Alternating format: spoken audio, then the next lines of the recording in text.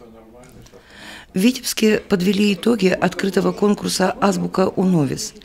36 авторских разработок детских, молодежных площадок, городских рекреационных зон представили в этом проекте участники из Беларуси, России и Израиля. Напомним, конкурс проводился среди художников, дизайнеров, архитекторов, студентов творческих специальностей с целью популяризации идей искусства авангарда и наследия всемирно известного творческого объединения «Уновис» в Витебске, которое, наряду со школами Баухаус в Берлине и в Хутемас в Москве, определило новый способ художественного мышления – Идеи мастеров, творивших в 1920-е годы, востребованы в промышленном дизайне, в архитектуре, выносятся в открытое городское пространство и в нашем 21 веке. Витебск, где все начиналось, вместе с тем лишен каких-либо визуальных образов, хотя бы минимально фиксирующих воспоминания о том, какую роль сыграл город в мировом искусстве. подаем, ну это просто уже хотелось нам.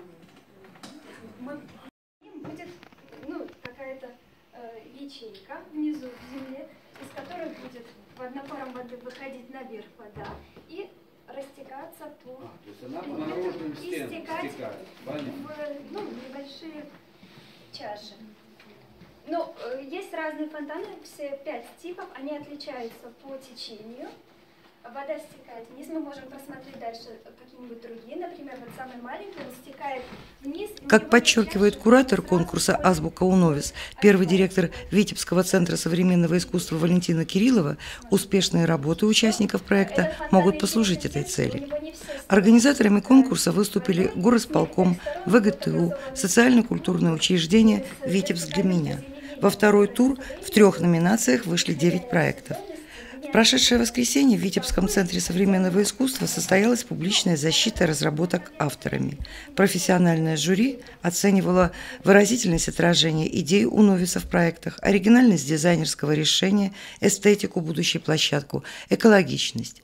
Как показала презентация проектов, студенты в основном вдохновлялись творчеством Казимира Малевича и Эля Лисицкого – рассмотрели возможность размещения своих объектов как в центре города, так и на дворовой территории новых микрорайонов, адаптировали сооружения для занятий популярными среди молодежи видами спорта, для музыкальных выступлений, уличного театра.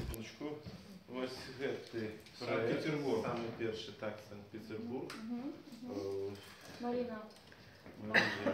Я говорю э, номер один, первое место. так. Сурский, Э, У меня первое место Кривоносовой. Это Кривоносова, это у нас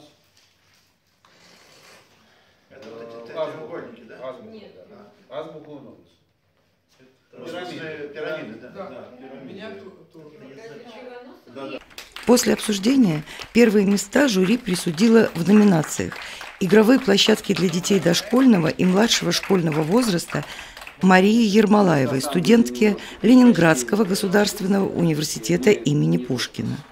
Игровые площадки для детей старшего школьного возраста Дмитрию Руженцову, студенту Белорусской государственной академии искусств. Рекреационные объекты без возрастных ограничений Маргарите Севко, студентке Белорусского национального технического университета. По признанию Маргариты, которая обучается на отделении архитектурного дизайна, вдохновлялась она работой Казимира Малевича «Летящий аэроплан». Переосмысление идеи этой композиции привело к работе с супрематическими формами.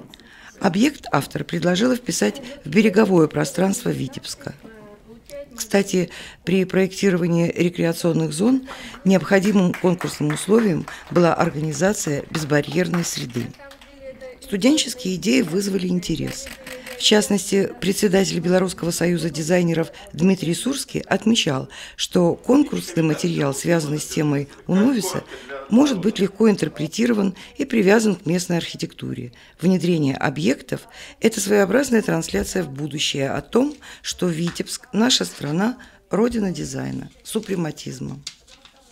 Член Союза дизайнеров России Игорь Клюшкин из Санкт-Петербурга, который впервые побывал в Витебске, но прекрасно знает город по истории искусства и дизайна как своеобразную мекку, подчеркнул, что Витебску, хранящему свою легенду об Уновисе и Казимире Малевиче, создававшем азбуку визуальной культуры, важно представить ее элементы в своем пространстве. Это сыграет и на туристическую привлекательность города. Теперь дело за главным – воплощением лучших проектов конкурса «Азбука Уновис» в реальной жизни Витебска. Вас проранжировали, Да. ну, просто э, тому, что это спаборництва, это конкурс, толькі і гэта. Ви все перемогли, годно вязите у свои навчальные установы, справоздачтеся, рассказывайте. показывайте, включайте в справоздачи и так далее.